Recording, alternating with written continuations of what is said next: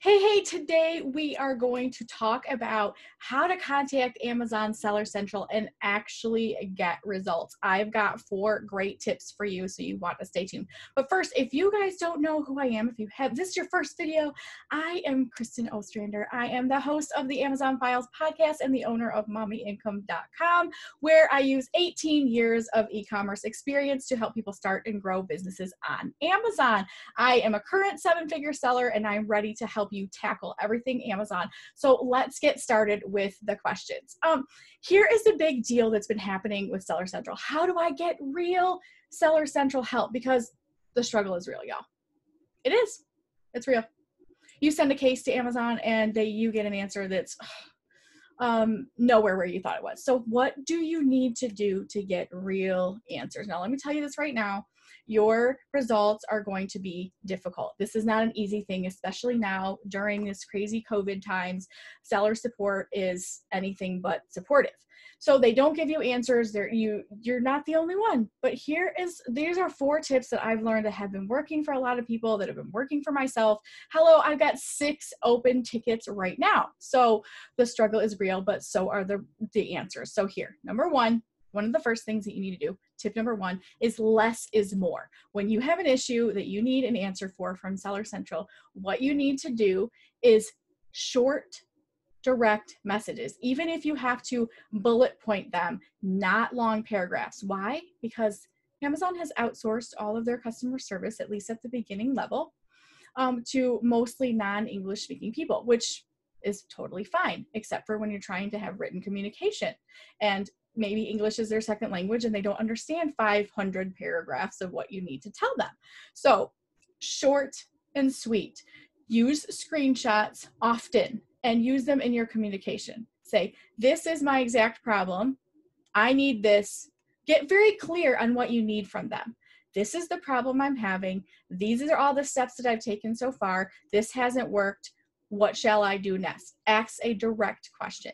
This will probably still get you a canned email response because are they really reading these? We don't know. We don't even know if half of them are just bots and then eventually it gets to email. But that leads me to number two. First of all, short direct messages, very uh, short and sweet, no long paragraphs, no long explanations, no ranting, no emotion. This is not emotional, this is business. You have a problem that needs to be solved. Let them know what the problem is, let them know what steps you've already taken, and then ask them for a, a response or a solution. Okay, number two is keep the cases open. So if they send you a response that's not helpful and it didn't solve your problem, or they didn't even read it and then they said, okay, here's this answer, keep the case open go back into Seller Central and open the case or respond to the case immediately. This might mean you have to turn on notifications for your phone. Whatever it is you have to do, respond immediately and keep the cases open. Keep them open until they're resolved. Now, sometimes which leads us to tip number three. Sometimes they will answer you and close the case as if you received a resolution, which we know you didn't. So, what do you do to that? At the bottom of those emails, this is number three, respond to the surveys. Respond. So, they give you an email that says, Dear so and so, blah, blah, blah, blah, blah, take this steps to fix your problem. Then at the bottom, it says, Did this fix your problem? Yes or no? Give us feedback on the, the response that you got. Give them the feedback. Tell them it did not solve your problem at all. As a matter of fact, it wasn't even related to your case, and this is completely unhelpful. Hit the no box, make sure you leave a comment and leave that there. If your if your question was not addressed or handled in the right way, communicate that to them to learn more about like the, the, resolving some of these things and these seller issues like IPI scores and everything else, all the different problems you probably are having, you can watch this video right up here and that will talk to you about the different ways to handle certain things from your end without opening support tickets. There's some things that you can do to troubleshoot in your own account before reaching out to Seller Central watch the video and find that out. The fourth and final thing that you need to do if you're still not getting a response, and mind you that keeping cases open and having them ongoing and doing two, three, four cases for one issue is not uncommon, unfortunately. I wish that Amazon's seller support was as strong and robust as the customer service that they give. The customer service, if you tell them, oh, my product was damaged or it didn't arrive or it's inauthentic, they're on it like this. When a seller has the problem, eh, it's it's not handled. I'm sorry for that, but there are ways that we can do it. I'm not I don't work for Amazon. I can't go inside their internal team and tell them to support sellers much better. Um, but this is what the fourth and final thing you can do email jeff at amazon.com. But don't do this every single time. This is one of the things that if you're still not getting a resolution, you have ongoing issues, you have screenshots. Screenshots are a lifesaver.